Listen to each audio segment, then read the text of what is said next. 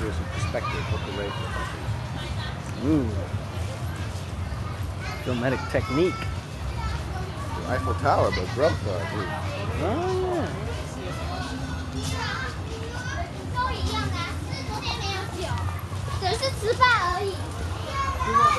yeah.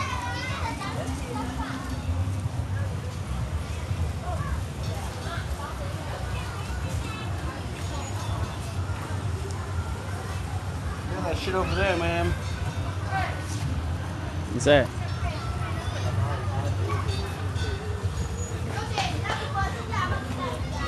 SpongeBob. Ugh.